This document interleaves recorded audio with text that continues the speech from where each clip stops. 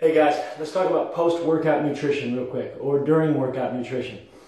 Sometimes I see people who get a real good workout, think that they deserve a reward for working out, and then they go and eat a bunch of garbage. Uh, I have friends who I used to help work out, and then they want to go to Chipotle and eat a big burrito with sour cream and cheese on it. I used to say that's like two steps forward, two steps back. Or you'll see somebody at the gym who might be riding the exercise bike slowly, drinking a big smoothie, and they're actually taking two steps, maybe one step forward, two steps back.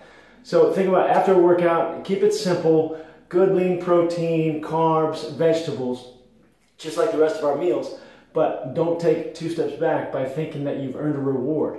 Take another two steps forward with a good healthy meal, then you've got four steps and you've made it worth your while. All right, see you tomorrow.